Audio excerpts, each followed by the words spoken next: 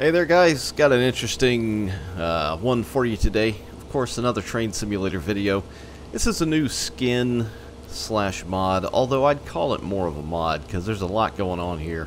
Uh, from a guy named Martin, used to be part of True Rail Simulations, kind of went his own way and pursuing uh, other projects on his own, I believe. Um, but anyway, this is a mod by him. You can find it down below in the info underneath the video, as always, where the link will be placed.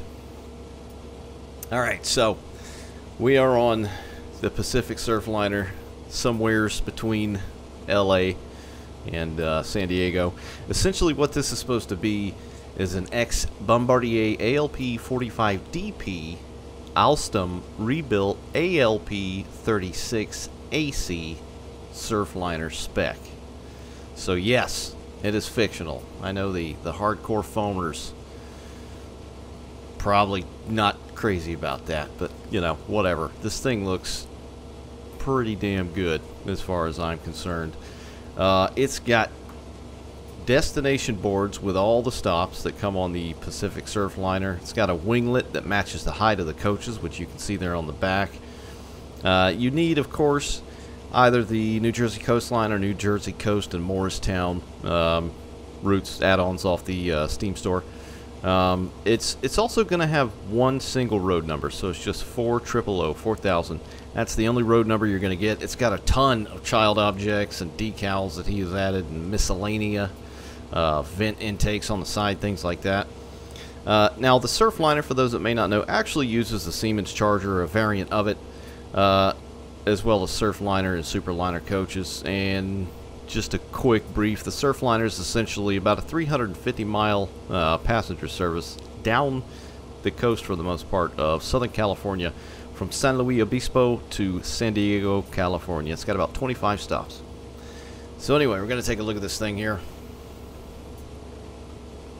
I love the LED lights. Now he has added those as well. Go ahead and pop them off and on here.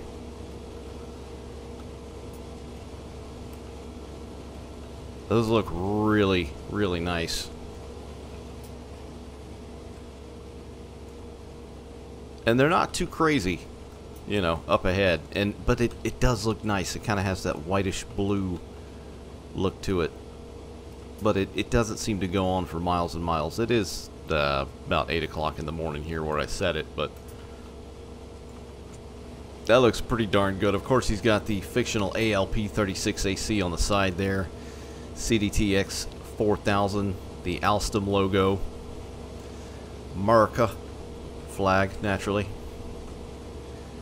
Very, very crispy decals. Caltrans. Jeez, that is that is really sharp. That's that's really, really sharp. That looks nice. And of course, Pacific Surfliner. Uh, the colors look fantastic. They look as close to the real thing as I can imagine. He has changed uh, the undercarriage as well, the uh, the chassis. The thing just looks good, man. It looks it looks very, very modern. I know there's not a, a lot of people out there that are fans of the Chargers and all that, and this is fictional. It's essentially taking place of the Charger. Uh, but as far as I'm concerned, this thing looks pretty damn good. Now the winglet on the back, kind of like the Talgo train sets, um, it looks good. He's done a pretty darn good job with it. It's nice and clean. It doesn't look out of place. It looks completely natural. You know, if you were to just look at it from the first time, not knowing otherwise.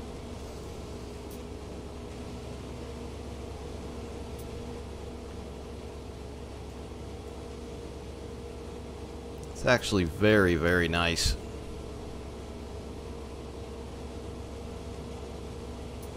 But yeah, so it's it's got you know new child objects, decals, um, you know all that good stuff. It does not come with sounds, uh, for what it's worth, as far as I know. I've, I think I've got an old Fan Railer pack um, that I've got applied on here, hence the horn. Um, I know a lot of people have issues working those in with you know other packs and their stuff breaks. I haven't had any problems yet, knock on wood. Um, but it, it seems to work okay as is now. But damn, this thing looks really, really good. I love the uh, the colors and the black face on it. That is very spicy. It's just really, really clean. You know, considering what we get from developers that expect us to pay like what 20 bucks on the Steam store that usually shovels out garbage, you know, nine times out of ten. Um, and for this to be freeware, yes, you need this to begin with from the uh, North Jersey Coastline pack, but this thing looks amazing. Amazing.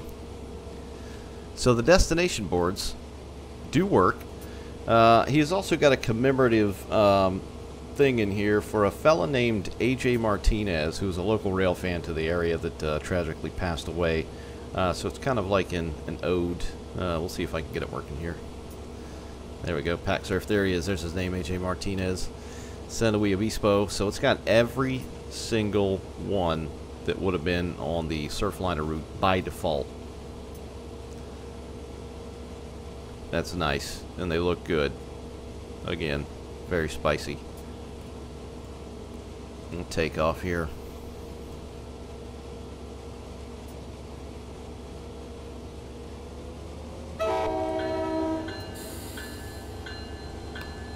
Yes, I've got default Surfliner and uh, Viewliner coaches here. For shame, I know.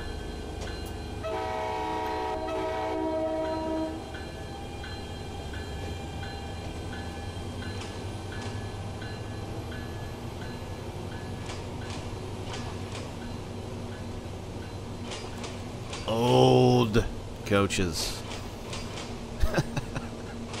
I'm sure there's some packs out there somewhere. I'm just never got around to messing with it.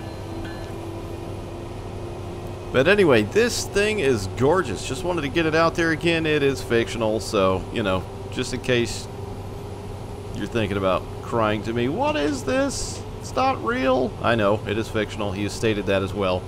Um, I still think it's pretty cool, and I'm going to use it on Pacific Surfliner. I love the F-59, but uh, this thing here, just very, very sharp looking locomotive.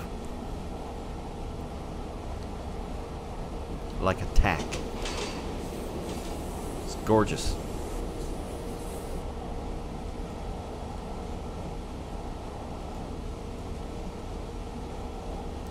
So yeah, just wanted to uh, get this out there in case you didn't know about it. Go and check it out if you feel you may be interested in uh, having a little sweet-ass fiction in your life.